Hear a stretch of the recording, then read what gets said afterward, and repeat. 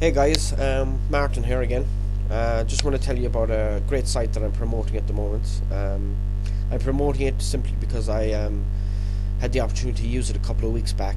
Um, this number kept ringing on my cell phone. I couldn't track it, didn't know who it was, and um, I used this website to find out exactly who it was. Um, turned out that it was an old friend, and uh, his phone was his phone was actually on the brink. So every time he rang me, it just didn't work. So anyway, it just put my mind at ease. And um, no matter why you want to look for a phone number, um, Reverse Phone Detective is the one.